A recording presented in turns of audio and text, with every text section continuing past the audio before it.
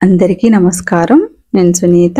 Welcome to my kitchen food book ఇక్కడ ఏంటంటే morning fresh up అయి వచ్చిన తర్వాత ఇంకా పూజ చేసుకుందామని చెప్పేసి పూజ సామాన్ కడిగి పెట్టుకొని దేవుడి దగ్గరికి నైవేద్యం ప్రిపేర్ చేస్తున్నాను. ఫ్రూట్స్ అవేమి లేవన్నమాట. ఇంకా ముందు రోజు నైట్ గారెల కోసం అని చెప్పేసి మినపప్పు నానబెట్టాను. ఇంకా అవి ముందైతే కొన్ని గారెలు వేసి దేవుడి దగ్గర పెట్టేద్దామని ఆ, ముందు ఇంకా స్టార్ట్ చేశాను. ఇక్కడంతా వీడియో ఏం తీయలేదు. ఆల్రెడీ వేసేసాను అనమాట కొంచెం ఈ రోజు అయితే కొంచెం హడావిడిగా టైం కూడా అవుతుంది. మా వారు ఆఫీస్కి వెళ్ళే టైం కూడా అవుతుంది కాబట్టి ఇంకా ఇక్కడ త్వరగానే ఫినిష్ చేశాను అనమాట ఇదిగో వేసి పక్కన పెట్టేసుకున్నాను. ఇంకా పూజ అది ఫినిష్ చేసుకొని అంతా అయిపోయిన తర్వాత ఫాస్ట్గా ఇంకా చట్నీ అయితే ప్రిపేర్ చేస్తున్నాను. ఈ చట్నీకి ముందే వేయించి పెట్టుకున్నాను. ఇవి చల్లారాలి కదా. కొంచెం సమ్మర్లో లో మనకి టైం పడుతుంది చల్లారటానికి. వేడివేడిగా ఉంటే మళ్ళీ మిక్సీ పట్టుకోలేం కదా. సరే పచ్చనపప్పును కొబ్బరి వేయించుకొని ఎండుమిరపకాయలు వేసుకొని వేయించుకున్నాను. ఇంక ఇప్పుడు గ్రైండ్ చేసుకుంటున్నాను. కొంచెం వెల్లుల్లిపాయలు జీలకర్ర సాల్ట్ వేసుకొని మెత్తగా గ్రైండ్ చేసుకొని ఇంకా తాలింపు పెట్టేసుకోవడమే. ఇంక ఇక్కడైతే చూడండి దోసపిండి బాగా పులిసి చూడండి ఎంత పైకి వచ్చిందో మీరు ఇది లాస్ట్ వీక్ వీడియోలో చూసుంటారు. ఈ వీడియో కొంచెం లేట్గా అప్లోడ్ చేస్తున్నాను. ఇది ఆగస్ట్ ఫిఫ్టీన్త్కి ముందు తీసిన వీడియో అనమాట నేను డే బై డే నా వీడియోస్ వస్తున్నాయి కదా అందుకే ఇంకా ముందు శ్రావణ శుక్రవారం వీడియో అప్లోడ్ చేసి తర్వాత ఈ వీడియో అప్లోడ్ చేస్తున్నాను. ఇదైతే దోసపిండి జొన్నపిండి జొన్న పిండి మినప్పప్పు అంతే. ఇంకా అటుకులు కానీ ఇవన్నీ ఏం వేయలేదు. మెంతులు కూడా వేయటం మర్చిపోయాను ఆ రోజు. అదే ఈ పిండి అన్నమాట. బాగా పులిసింది. చూడండి దోశలు కూడా మనకు మంచి కలర్లో వస్తాయి. ఏమీ వేయకపోయినా మనకి మిల్లెట్స్ తోటి మంచిగా ఇలా ప్రిపేర్ చేసుకోవచ్చు అన్నమాట. మెంతులు వేయకపోయినా కూడా వేసుకుంటే మంచిదే హెల్త్కి వేయకపోయినా కూడా చాలా బాగా వస్తాయి. ఇంకా బ్రేక్ఫాస్ట్ అది అయిపోయిన తర్వాత లాస్ట్ టైం సూపర్ మార్కెట్కి వెళ్ళినప్పుడు ఇవి ఉసిరికాయలు తీసుకొచ్చాను. జ్యూస్ చేసుకొని కొంచెం మార్నింగ్ రోజు ఒక స్పూన్ వాటర్లో కలుపుకొని తాగాలని. అవి సరే చేద్దామని చెప్పేసి తీసాను. కానీ జ్యూస్ చేస్తే మళ్ళీ ఫ్రిడ్జ్లో స్టోర్ చేసుకోవాలి కదా. ఫ్రిడ్జ్ కొంచెం రిపేర్ అయింది కూలింగ్ అవ్వట్లేదు అనమాట సరే ఇంకా అవి వేస్ట్ అవుతాయని మొత్తం గ్రైండ్ చేసి జ్యూస్ చేసే అంటే బయట మేబీ ఉంటుందో ఉండదో ఎలా అయినా జ్యూస్ త్వరగా పాడవుతుంది కదా. ఓన్లీ మనం ఏం కలపం కదా వాటిలో స్టోర్ ఉండటానికి. సరే కొంచెం పికెల్ లాగా పెట్టేద్దామని చెప్పేసి ఇంకా ఉసిరికాయల్ని శుభ్రంగా కడిగి తడి లేకుండా అంతా తుడుచుకొని ఇంకా కొంచెం సేపు ఆరబెట్టేశాను. ఇప్పుడైతే ఒక స్పూన్ ఆవాలు ఒక అర స్పూన్ మెంతులు తీసుకున్నాను. ఇవి వేయించుకొని మెత్తగా పౌడర్ చేసుకుంటున్నాను అనమాట ఇందులో మీరు ఒక స్పూన్ జీలకర్ర కూడా వేసుకోవచ్చు. జీలకర్ర వేసుకున్నా కూడా బాగుంటుంది. ఆ, నేనైతే మర్చిపోయాను. అంతకుముందు చేసినప్పుడు జీలకర్ర కూడా వేసుకున్నాను. బాగా మెత్తగా కొంచెం బరక బరకగా ఉన్నా మనకి ఏం అవ్వదు అనమాట బాగానే ఉంటుంది. వీటిని. ఇక్కడ స్పూన్ చూపించాను కదా ఆ స్పూన్తోనే నేను ఒక స్పూను ఆవాలు అర స్పూన్ మెంతులు వేసుకున్నాను. ఈ ఉసిరికాయలు ఒక హాఫ్ కేజీ పైనే ఉన్నాయి. అంటే ఒక సిక్స్ హండ్రెడ్ గ్రామ్స్ వరకు అలా ఉన్నాయి. వీటిని శుభ్రం చేసుకొని ఈ విధంగా రోట్లో కచ్చా పచ్చాగా దంచుతున్నాను.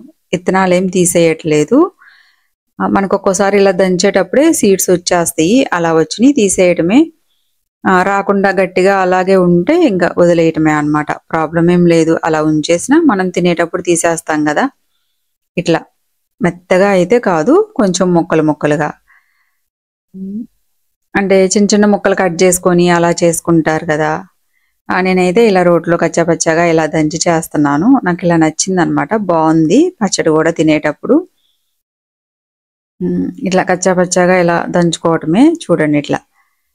ఇత్తనాలు ఒక్కోసారి మనం దంచేటప్పుడు పోతాయి. అవి మొత్తం ఓపెన్ అయితే పోతుంది. కొన్ని పోతాయి కొన్ని ఉంటాయి. కానీ వాటిని ఏం తీసేయాల్సిన అవసరం లేదనమాట అలాగే మనం వేసేసుకోవడమే. ఇప్పుడైతే నేను ఇంకా ఈ ప్లేట్ ఆల్రెడీ వాడాను కాబట్టి ఇందులోనే కలుపుతున్నా. మీరు కావాలంటే ఏదైనా బౌల్లో అలా కలుపుకోండి.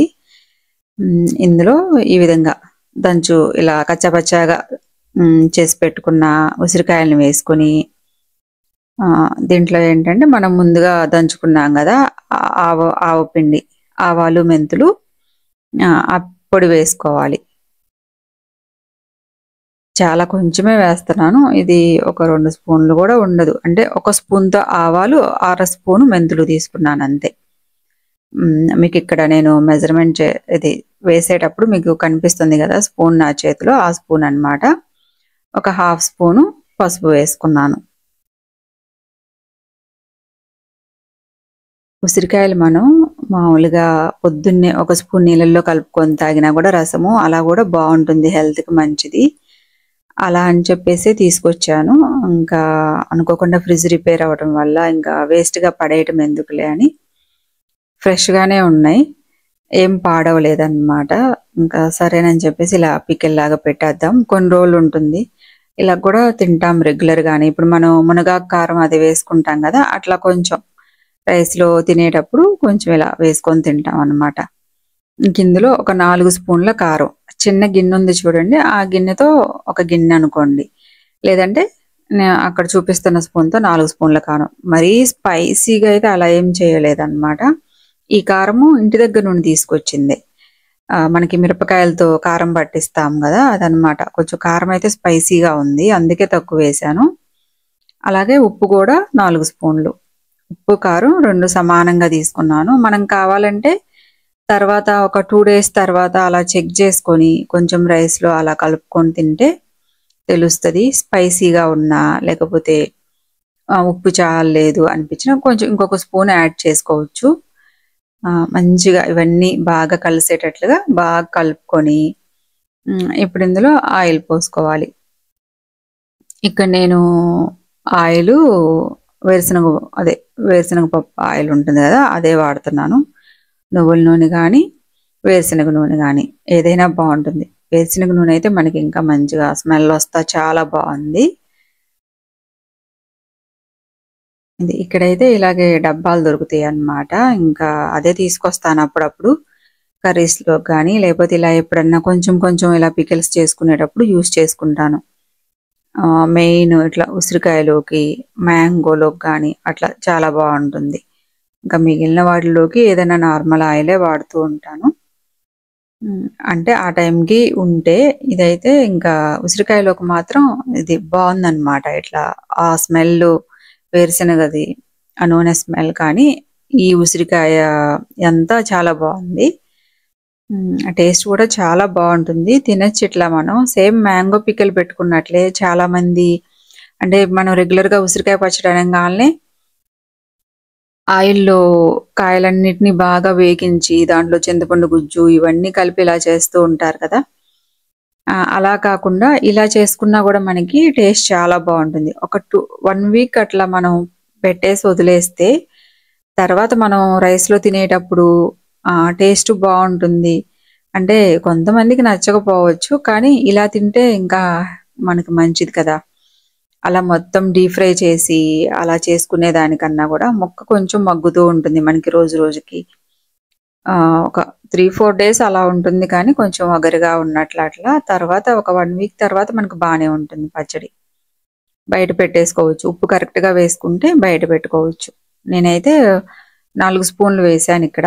మళ్ళీ మేము టేస్ట్ చేసిన తర్వాత ఇంకా కొంచెం ఇంకొక స్పూన్ కూడా కలిపాను. మీరు చెక్ చేసుకోండి. ఒకసారి బాగా మంచిగా ఒక ఫోర్ డేస్ అలా వదిలేసి చెక్ చేసుకొని తర్వాత కలుపుకోండి. ఇంకా నేను ఒక బౌల్లోకి షిఫ్ట్ చేసుకున్నా. ఇక్కడైతే లే సీసా ఏం లేదనమాట సీసా తీసుకురావాలి. సీసా తెచ్చుకున్న తర్వాత బాటిల్లో స్టోర్ చేసుకుంటాను. బయట వదిలేయచ్చు మనం. ఫ్రిడ్జ్లో పెట్టాల్సిన అవసరం ఏం లేదు. బయట ఉంచేసినా కూడా ఇలా ఉంటుందన్నమాట. ఆయిల్ మాత్రం ముక్క మునిగే వరకు పోసుకోండి. మనకి ఇప్పుడు ఇలా పెట్టాం కదా ఆయిల్ కొంచెం తేలుతుంది. నెక్స్ట్ నెక్స్ట్ డే కల్లా ఆయిల్ పైకి వస్తుంది ఒకవేళ అలా లేదు తక్కువ పోసుకున్నామంటే పై వరకు ముక్క మునిగే వరకు. మనం బాటిల్లో పెట్టుకున్నా కూడా ఆయిల్ మనకి ఆ పైన తేలేటట్లుగా ఉంచుకోండి. ఒకవేళ ఉప్పు తక్కువ కొంచెం త్వరగా పాడవకుండా ఉంటుందన్నమాట పచ్చడి. టేస్ట్ బాగుంది. ఒకసారి ట్రై చేయండి అలా చేసుకొని చూడండి. చాలా బాగుంటది. ఆ, మనకి ఒక వన్ వీక్ తర్వాత అలా తింటే మనకి టేస్ట్ చాలా బాగా తెలుస్తుంది. స్టార్టింగ్లో అయితే కొంచెం మీకు వగరుగా అనిపిస్తుంది. మీరు ఇంక ఇందులో కావాలంటే కొంచెం ఇంకా మీరు తాలింపు పెట్టుకోవచ్చు మీకు నచ్చితే ఇంకా వెల్లుల్లిపాయలు యాడ్ చేసుకోవచ్చు. తాలింపు పైన మీ మీ ఇష్టం. కొంచెం పచ్చిశనగపప్పు అవన్నీ వేసుకొని పెట్టుకోవచ్చు. ఇదైతే నేను ఇంకా యాడ్ చేయట్లేదు అనమాట ఇలాగే తినాలి అని చెప్పేసి ఇంకా ఇలాగే ఉంచేస్తున్నాను. ఇప్పుడు బాటిల్ అయితే లేదు స్టోర్ చేయడానికి ఇంక ఈవినింగ్ కొంచెం బయటకు వెళ్ళే పని కూడా ఉంది. సరే ఇంకా అప్పుడు వెళ్ళినప్పుడు బాటిల్ అది తీసుకొచ్చుకుందాం అని చెప్పేసి ఇంకా ఈ బౌల్లో ఇలాగే ఉంచేస్తున్నాను. ట్రై చేయండి. బాగుంటుంది. అంటే ఎప్పుడు మనం నూనెలో వేయించిందే కాకుండా ఇలా కూడా ఒకసారి ట్రై చేసి చూడండి. మనకి ఎక్కువ వింటర్ సీజన్లో కదా నవంబర్ అలా వస్తాయి ఉసిరికాయలు. ఇక్కడ మాకైతే కొంచెం రెగ్యులర్ గానే కనిపిస్తున్నాయి సూపర్ మార్కెట్స్లో. ఇంకా అప్పటికప్పుడు చేసుకునేదే కదా అని ఆ, నేను కొంచెం తీసుకొచ్చి చేశాను అనమాట రెగ్యులర్గా తినొచ్చు అన్నట్లు. సరే ఇంకా ఈవినింగ్ పని ఉందని చెప్పేసి బయటకు వచ్చాము ఇక్కడ దగ్గరలో మాకు దగ్గరలో లులు ఉందన్నమాట. ఆ, లులుకి వచ్చాము ఇంకా ఫ్లవర్స్ కావాలి. నెక్స్ట్ మనకి వరలక్ష్మి వ్రతం వస్తుంది కదా శ్రావణ శుక్రవారం. ఆ, పూజ నేను ఎక్కువేం చేయను కానీ పూలు అవి ఉంటే తీసుకుందామని పూజ సామాన్ కడగటానికి పౌడర్ అయిపోయింది అనమాట ఇంక ఇవన్నీ తీసుకుందాం ఇంక పైన ఏమన్నా మనకి బ్యాంగిల్స్ శారీస్ అలా ఏమైనా ఉంటాయేమో చూద్దామని సరదాగా వచ్చాం నేను మా అమ్మాయి. ఇక్కడ చూడండి బ్యాక్ టు స్కూల్ అన్నమాట. ఇంకా వన్ వీక్లో స్కూల్ రీఓపెన్ అవుతుంది. బుక్స్ బ్యాగ్స్ ఇవన్నీ పెట్టేశారు ఫ్రంట్లోనే పెట్టేశారు ఇక్కడ ముందులోనే. ఇదిగోండి మా అమ్మాయి ఎక్కడికి వచ్చినా ముందు బుక్సే చూస్తుంది. పజిల్ బుక్స్ లేకపోతే ఏమన్నా స్టోరీ బుక్స్ కానీ అట్లా పిల్లలు చదువుకునే ఉండే కదా అవి. కంపల్సరీ కొంటది. మనం ఎక్కడున్నా మనం ఏం చూస్తున్నా కూడా ఆమె మాత్రం బుక్స్ దగ్గరికే వెళ్తది. పుస్తకాలు పురుగు అంటారు చూడండి. ఎప్పుడు పుస్తకాలు ఇంకా చదవటాలు లేకపోతే ఇట్లా మీ ఇంట్లో ఎవరన్నా పిల్లలు ఉన్నారా ఇట్లాగా అంటే బుక్స్ కలెక్షన్ కూడా ఉంటారు. చ- చదివినా చదవకపోయినా కొంతమంది కలెక్ట్ చేసుకుంటూ ఉంటారు. చదివిద్ది మాకు. మళ్ళీ అలా బుక్స్ కూడా కలెక్ట్ చేస్తూ ఉంటది. ఇంక ఇక్కడైతే అదే ఆగస్ట్ ఫిఫ్టీన్త్ ముందు వచ్చాం కదా. బొమ్మలకి మన ఫ్లాగ్ కలర్స్లో అలా కట్టున్నారు బట్టలు అవి. చాలా బాగుంది సరేలే అని చెప్పేసి ఒక పిక్ తీసుకొని ఇట్లా కొంచెం వీడియో తీసుకొని అక్కడ డ్రెస్సెస్ అవన్నీ ఉన్నాయి. ఇంకా మేము అవన్నీ ఏం తీసుకోలేదు. అంత నచ్చలేదు. నేను ఏంట అంటే యూజ్ చేయను. టాప్స్ అట్లా ఉన్నాయి. సరే ఇంకా నేను మా అమ్మాయి వచ్చాం కదా. ఊరికి అట్లా సరదాగా తిరిగేసి ఇంకా పూలు కూడా లేవన్నమాట. కింద షాప్ తీసేశారు. మేము లులుకి వచ్చి చాలా రోజులు అయింది అంతకుముందు ఏమన్నా కావాలంటే రెగ్యులర్ గానే వచ్చేవాళ్ళం. ఇప్పుడు ఎక్కువ రావట్లేదు అనమాట తెలియదు షాప్ తీసేశారు. ఉందనుకొని వచ్చాము. సరే ఇంకా షాప్ అయితే లేదు. కావాల్సినవి తీసుకొని పూజ సామాను క్లీన్ చేసుకోవడానికి మనకు పీతాంబరి అవి ఉంటాయి కదా. అవి తీసుకొని ఇంకా మా అమ్మాయి పుస్తకాలు కొనుక్కుంది. ఇక్కడ ఏంటంటే మనకి బ్లాక్ కలర్లో చున్నీ కనిపించింది. చాలా రోజుల నుండి చున్నీ తీసుకుందాము అని చెప్పేసి అంటే నాకు ఎక్కడా లేదు. ఆన్లైన్లో అమెజాన్లో అమెజాన్లో అలా ఉన్నాయి కానీ విడిగా నేను చూడలేదు. సరే ఇక్కడ కనిపించింది. మా అమ్మాయికి స్కూల్కి ఏమన్నా యూజ్ అవుతుందిలే అని.